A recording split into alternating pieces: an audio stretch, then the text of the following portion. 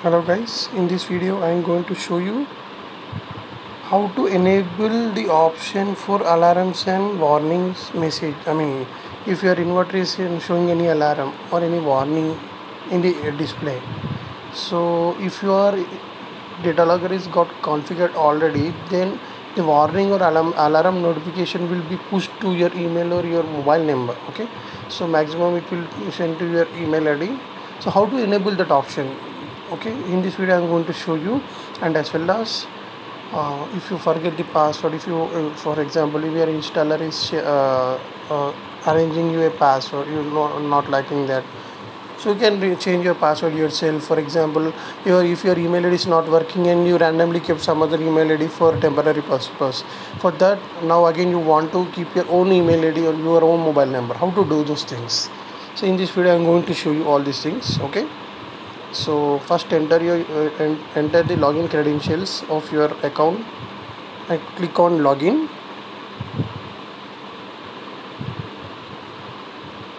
So here down we can see user at the fingertip bottom of the screen okay? Click on user. Your first option will be like change password. Click on change password enter the current password of your account and enter your new password what you want to have to what you have, have to change okay? Now go back information management. Here for example random mail id you get for temporary purpose. For example solar technician came and used this email id instead of yours because if you are in some other work.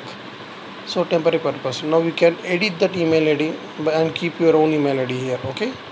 And your mobile number as well. And here we can see fault information push so whatever the email id you are keeping here those fault or alarm messages will be went to will go to your email id okay?